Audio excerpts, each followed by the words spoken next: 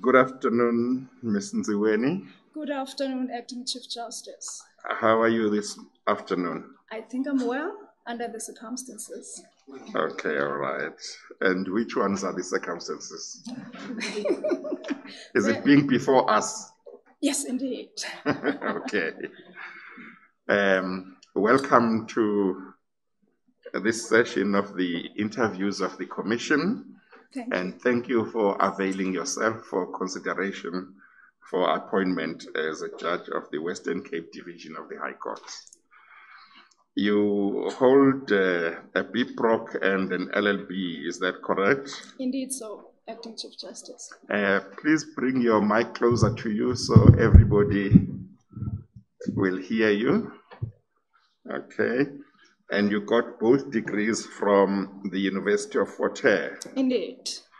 Uh, you got your BProc in 1997 and your LLB in 1999. That's correct. Yes. And you started your working career as a maintenance clerk uh, in the Department of Justice, that is in the courts, is that right? Yes, and, and that was a vocational work which I did.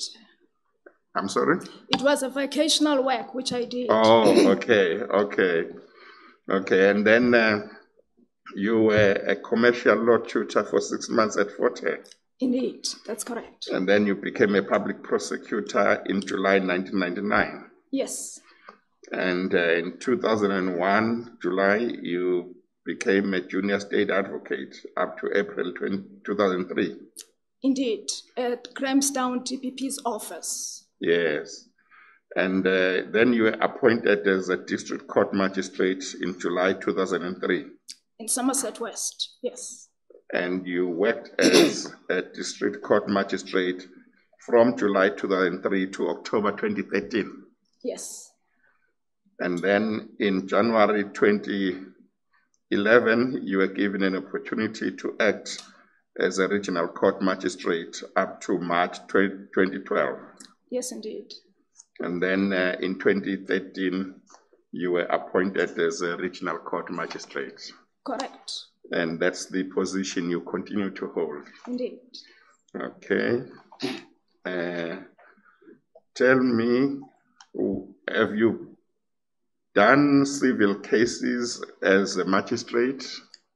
Quite a lot. Acting Quite a lot. Indeed. And that started from when? When you became a district court magistrate No, in 2009. in 2009. Correct. And in 2009, you were, were- what, what, what, uh, were you no longer a district court magistrate at that time? I was still a district court magistrate. Yes, so you didn't uh, do civil court matters from the commencement of your appointment as a district court magistrate, No, but you started doing them in 2009. correct.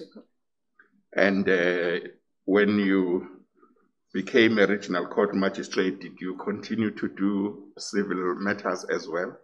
I was actually appointed at a seat which did not do uh, civil matters. I then approached the regional court uh, president and I asked him if he can afford me the opportunity to continue with civil work. Yes. Just let me just double check. Is everybody able to hear her well? Okay. Oh. Yeah, there is something wrong with my ears. okay, all right. So, and then the re- regional court president allowed you to do them. Indeed, because of my reputation in civil. Yes. Now, so that means that uh, you have been doing civil cases as a district court magistrate and as a regional court magistrate Yeah, over a period of about what, 11 years, 12 years? pretty much, pretty much. Yes. Uh, I actually uh, juggled two courts. Yeah. I was doing an exclusively criminal work court simultaneously with the civil court. Mhm. Okay. And um, uh, what branches of law would the case, civil cases that you have been doing in the magistrates court and regional court uh, fall under? Uh, various branches, I did delict contract. I was fortunate to be at a court which was very busy, Somerset West. Uh, if I may say that uh, the litigants there, they are very litigious. They, they like to litigate. So I was exposed to various branches of civil work. Yes. Yeah, it's quite a, a busy court. Yes. Do you, do you enjoy civil work more than criminal work It's or not really? It's actually my passion, acting Chief Justice. Yes. And um, did uh, the magistrates court and the regional court have motion court as well? Yes, quite a lot, And you were involved in that as well? indeed. Okay. Now, in uh, paragraph 8 of the questionnaire, Mm. uh, you were asked to furnish particulars of membership of a political party, past and present. You said none. Yes, that's confirm correct. that. Indeed. And you, in paragraph 9, you were asked to furnish particulars of community and other organizations of which you are or have been a member in the past 10 years. You said none. That's correct. Yes. Now, have you had the chance to act in the High Court? I was fortunate enough to be invited by the judge president at the beginning of this year, Yes. and I'm still there. And um, so far, have you done both civil and criminal trials at the High Court? Uh, I did only one criminal trial, and fortunately, the bulk of the work which I did was civil work. Yes. And you have done motion court as well? Yes, quite a lot. Yes. Judge President? Pass, Jane. Nothing at this stage. Thank you very much. Okay, thank you. Um, Ms. Stewart, if you have questions for the candidate, I now give you an opportunity to put questions to the candidate. Thank you, Acting Chief Justice. Um, can I ask two questions, please? The first is um, pertaining to your judgment of the Epstein judgment, uh, which was, as I understand it, an urgent interdict. Yes. Um, I'm just trying to understand, in paragraph 25, you deal with the apprehension of irreparable harm. Uh-huh. that you find that if the interdict to stop the building work is not given, the um, the applicants will suffer irreparable harm. Indeed.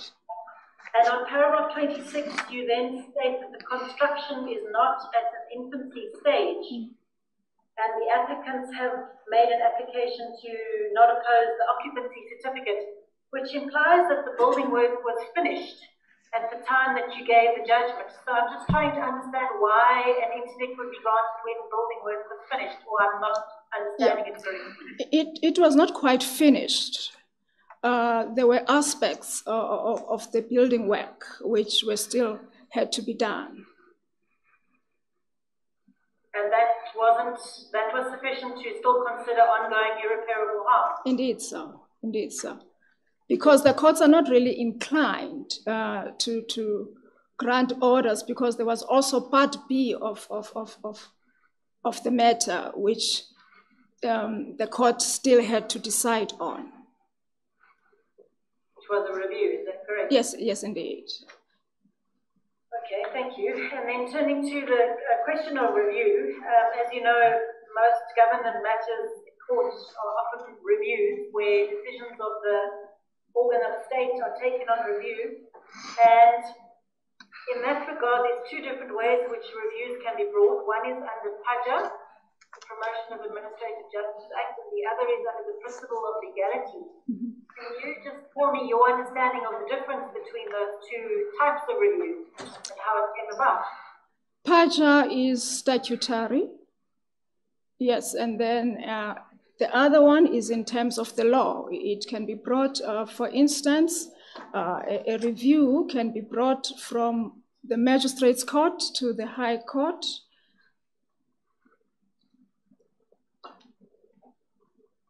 Um, and, and a review under the principle of legality, in other words, not a judicial review, but a review for administrative action, but not under PAJA. Have you any experience of those? Not at all. Thanks, Acting Chief Justice. Thank you. Um, uh, I'm told that uh, uh, your voice is soft, is too low. Oh, I'm sorry Uh, for you that. are asked to uh, speak up, so at least I'm not the only one. W- okay. I No, I'm, so, I'm sorry about that. Yes. Okay, all right. Thank you. Uh, commissioners? Judge President Mlambo? Good afternoon, Ms. Nziweni. Good afternoon, Judge President. Um, it's just as a basic question I want to ask you. There is a circuit of the division in the Western Cape. Am I correct? Indeed, Yeah, it does both civil and criminal. indeed. So, you're sitting in Cape Town, you are approached by, one of your matters is from a financial institution that seeks to foreclose on a property located in an area under the circuit. Mm-hmm. And the value of the claim is a hundred thousand rands. And the, the, the homeowner is unrepresented. How would you deal with that matter?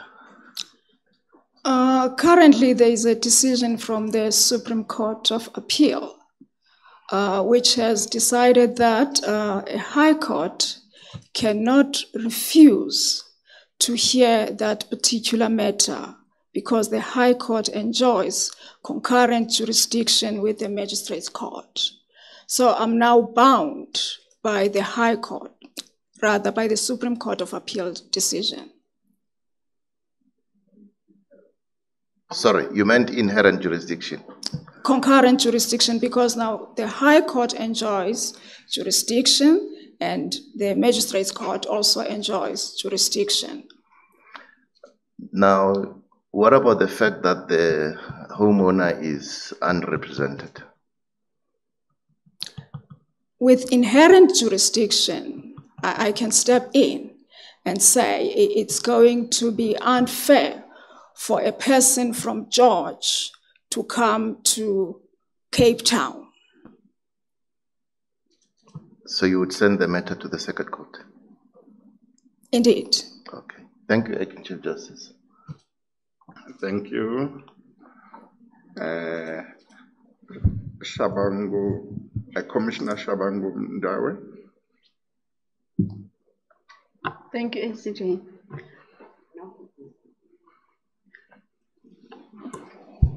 Good evening, uh, Mrs. Nziweni. Good evening, Commissioner.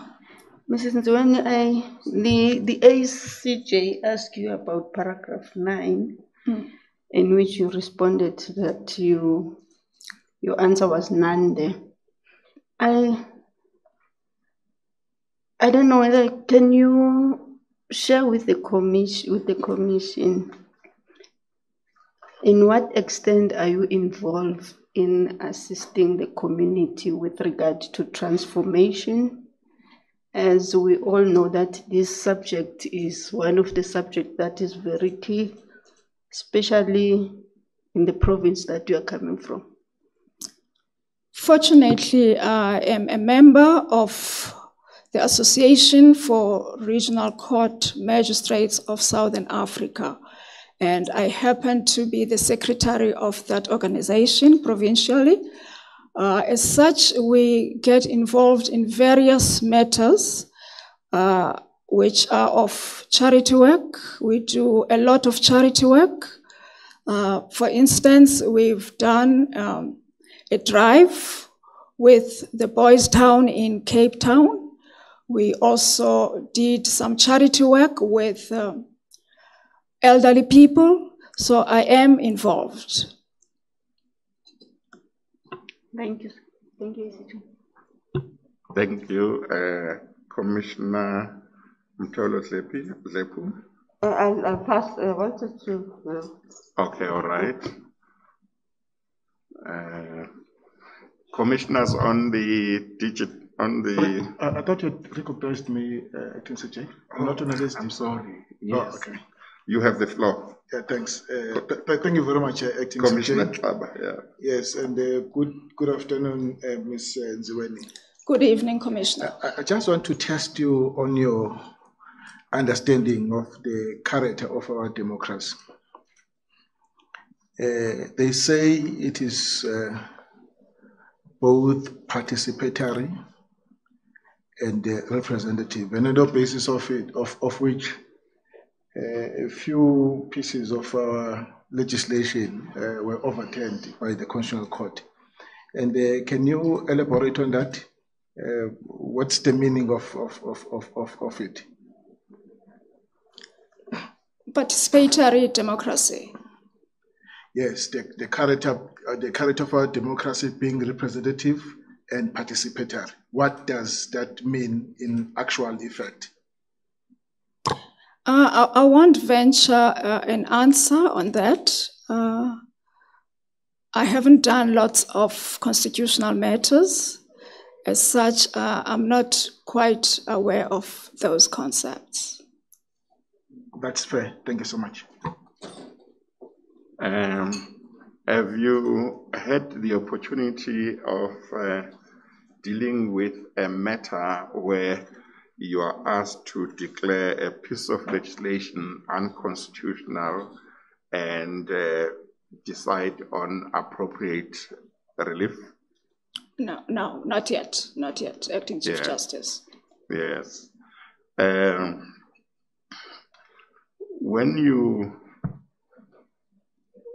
when you sit in criminal appeals and you are asked as a, a panel of a full bench, for example, to deal with uh, and you deal with uh, an appeal against sentence, uh, what room do you have to interfere with the sentence given by the court a quo?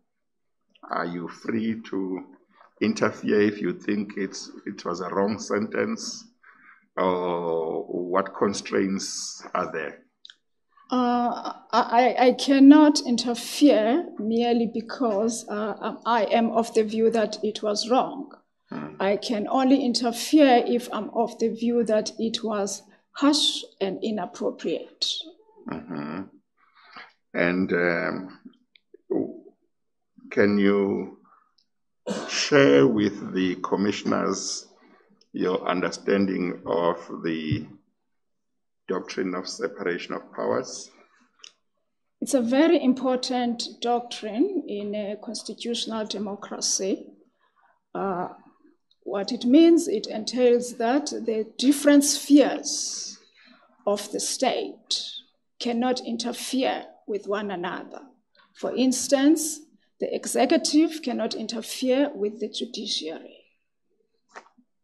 Mhm.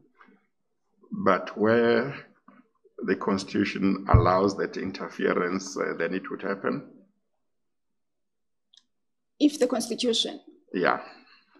allows the interference. Mhm. Of course, uh, we live under the rule of law, Mhm. and we know that the Constitution is supreme. Mhm. If the Constitution says it can be done, then it can be done. It can be done. And if it's legislation that allows it to happen, what do you, what would you say? If Parliament passes legislation that allows that to happen, what would you say about that? then that particular legislation Mm, will be contrary to the values of the Constitution. mhm. So that piece of legislation cannot be sustained. Yes. Any further questions? It looks like, oh, uh, Commissioner Schlemmer? Thank you, ACJ. Good evening, ma'am. Good evening, Commissioner. Could you just share your um, judicial philosophy with the Commission? Mine is predicated upon the principle of justice. I happen to be a daughter of an interpreter. As such, uh, had the opportunity to be exposed to court hearings. And I was still very young. Then I would notice this particular person who's unrepresented. And then there and there, I told my father that I wanted to be the person who would represent that person. Uh, I believe firmly in justice, And I believe that justice is the vehicle to protect people, particularly the most vulnerable people. If I may, ACJ, Uh-huh. and how do you apply that principle of justice in a civil court? You have to be fair to all the parties who are appearing before you. You have to dispense justice impartially. Uh, you have to listen to litigants. Thank you. Uh, Jay, may I ask my question, please? Yes, uh, please go ahead, uh, Commissioner Kane. Thank you very much. Mm. Could you please just con- uh, further the conversation you've just had with the two commissioners that have asked you about the application Mm. of those principles to the example that uh, JP Mlambo gave you? Mhm. Um, you ended up saying to him that you prefer the case in Yes. question where the financial institution was suing um, Adeta to the George Regional Court. Um, what is the principle behind that? Access to justice. Um, it's a very important principle because the further you take the litigation from the litigant, essentially you are closing the doors of the court. So the principle for me, which is more important, is the principle of access to justice. Thank you. Thank you, ACJ. Thank you. Uh, I think we have come to the end of the interview. Uh, the commissioners who are on the virtual platform, I think I had given them a chance. I hope I'm not mistaken, apart from Commissioner Kane. Yes, we have come to the end of the interview. Thank you very much uh, uh, for availing yourself. Uh, you are now excused. Thanks to you, Acting Chief Justice and the commissioners. Thank you.